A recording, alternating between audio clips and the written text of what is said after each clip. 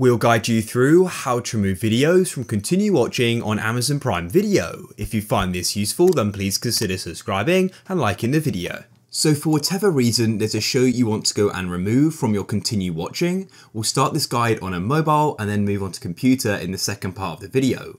Come to the homepage and scroll down until you see continue watching, and then find the show you want to go and hide and remove from here.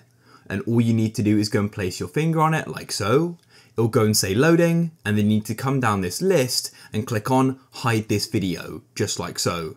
It'll go and take a couple of seconds and it'll go and say loading, and then you've got a sort of a line through it.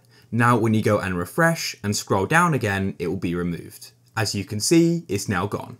Now for on a computer, so come to Prime Video and come to the home page and go and scroll down and find continue watching.